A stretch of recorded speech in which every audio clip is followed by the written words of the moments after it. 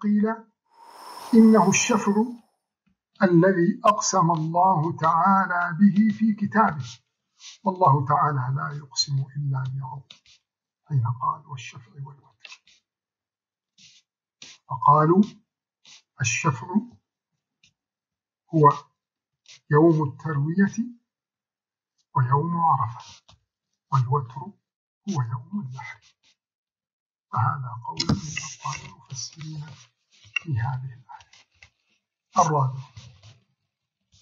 قيل أيضا أنه شاهد ومشهود الذي أقسم الله تعالى به في كتابه حين قال وشاهد ومشهود. فقيل أن الشاهد يوم عرفة والمشهود يوم 我肯定不会。